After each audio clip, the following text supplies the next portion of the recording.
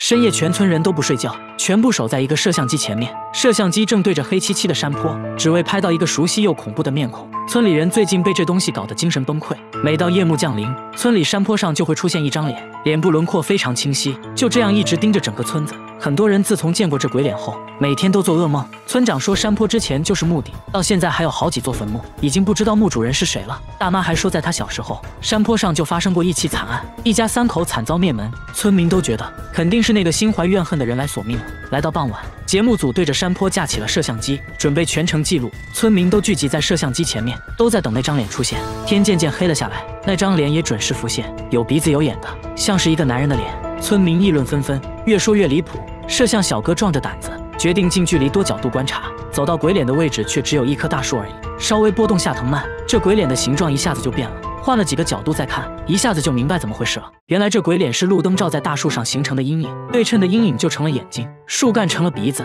藤蔓就成了脸的轮廓。一切都是错觉而已。知道真相的村民终于松了一口气，说现在看起来更像是一张笑脸，感觉可爱多了。